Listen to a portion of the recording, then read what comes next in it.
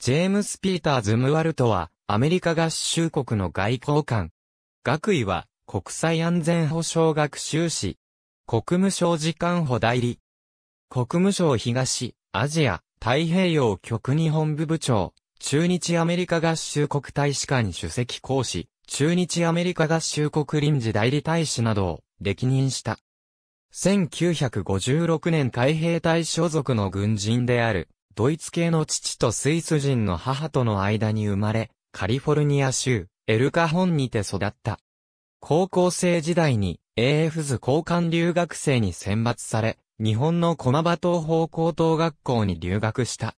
カリフォルニア大学バークレー校にて学び、1979年にアメリカ史と日本語の学士号を取得した。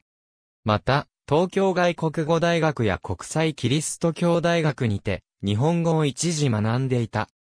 なお、1998年に国防大学より国際安全保障学の修士号を取得している。国務省に入省し、外交官として活動した。外交分野の中でも、主として、経済、通商畑でキャリアを重ねており、在在いる大使館の経済担当官や、在中華人民共和国大使館の経済担当講師参事官、中日大使館の経済担当官、経済担当参事官、経済担当講師などを歴任し、国務省経済、通商局での勤務経験も持つ。地域的には、アジアを専門とし、特に東アジア各国に対する知見を有する。前述の通り在中華人民共和国大使館や中日大使館での豊富な駐在経験を持ち、国務省の本省でも東、アジア、太平洋局のフィリピン部、韓国部、局長室などで勤務していた。これらの経験から、一時、通商代表部に出向しており、日本、中国下で勤務していた。2006年、ブッシュ政権にて、国務省東、アジア、太平洋局日本部の部長に抜擢された。以来、国務長官のコンドリーザ・ライスの下で、対日政策の取りまとめに奔走する。2008年からは、中日大使館の首席講師として、日本に赴任した。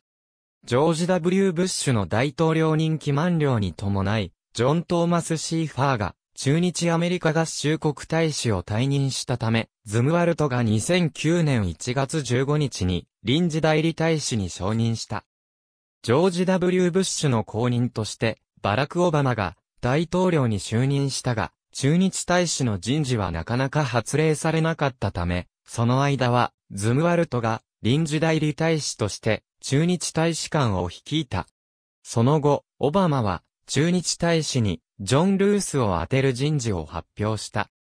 ルースが皇居に参代し、信任状方程式が行われたため、それに伴いズムワルトは臨時代理大使を2009年8月20日に退任した。退任後は中日大使館にいて、再び首席講師に戻った。2011年の東北地方太平洋沖地震に際しては、首席講師として対応に当たった。同年末、首席講師を退任し、ジョセフ・ドノバンの後任として、国務省の時間補代理に就任した。在日米軍の再編、基地返還交渉などにも携わっており、外務省北米局参事官の秋葉武夫、防衛省防衛政策局次長の黒江哲郎らとの協議にて、空軍下でな飛行場以南の軍事施設を先行返還することで合意している。2009年、東京都千代田区にて、連邦上院議員のリンゼー・グラハム、エイミー・クロブチャー、ジョン・マケインと2009年6月20日、東京都にて、衆議院議員、安倍晋三と2009年3月、東京都にて、プロップステーション理事長、竹中ナミと2009年6月20日、東京都にて、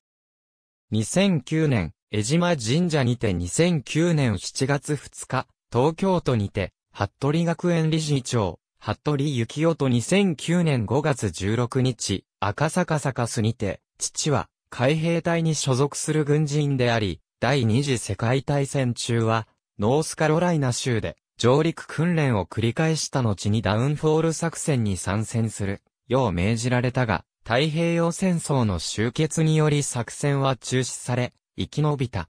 母は、スイス人であり、後にアメリカ市民権を取得した。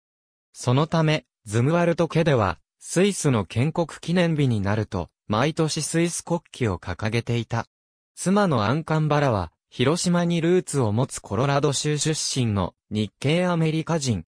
ジェームスと同じく国務省で外交官を務めており、共に駐日大使館に勤務した際に知り合って結婚した。アンは結婚後も国務省に勤務しており、東京アメリカンセンター館長などを歴任している。